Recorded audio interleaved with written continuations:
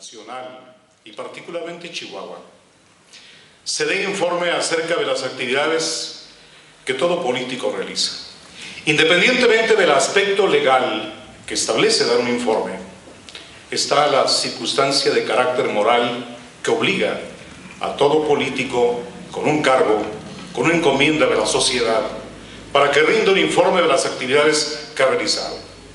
Y ese es el caso de hoy, donde Jorge Abraham Ramírez Elvidres habrá de dar a conocer las actividades realizadas en este segundo año de actividad legislativa.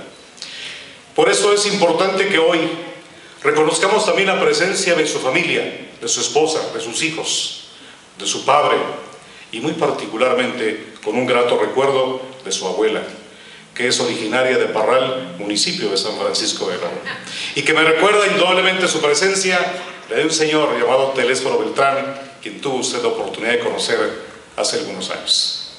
Me da mucho gusto encontrar aquí, viendo con su apoyo, con su asistencia, estimular el desarrollo de su nieto, Jorge Abraham.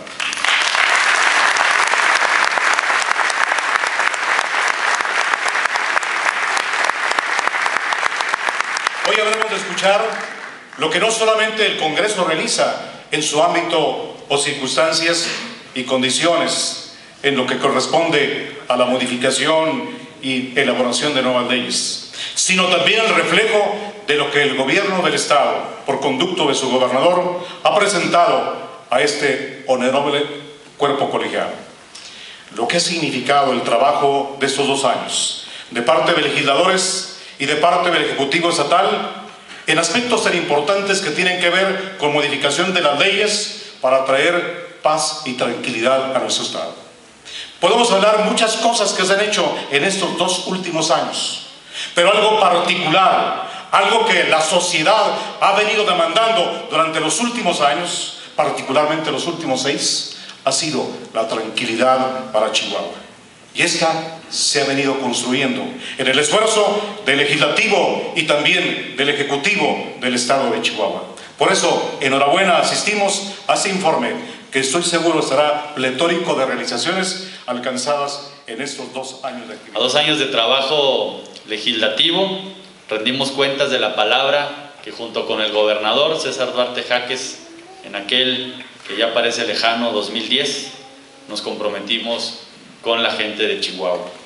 Es para mí un privilegio servir a mi tierra y por eso me entrego todos los días y les entrego mi voluntad con la misma pasión que lo hice desde ese primer día que ustedes me dieron esta responsabilidad. Ofrecimos ser un puente sólido que una a los cuautemenses.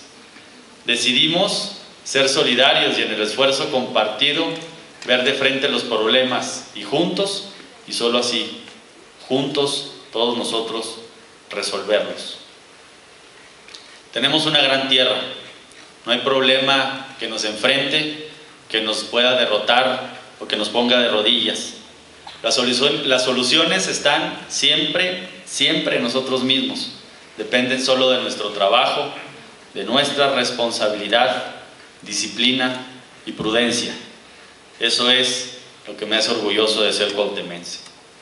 Dentro del Congreso soy presidente de la Comisión de Justicia secretario de la Segunda de Gobernación y Puntos Constitucionales, además de una comisión especial para los festejos del centenario de la Revolución y el bicentenario de la Independencia.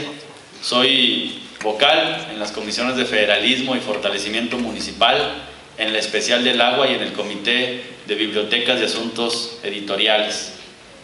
Represento al legislativo en el Consejo Estatal de Protección Civil y he sido jurado en la elección de magistrados al Supremo Tribunal de Justicia en el Estado.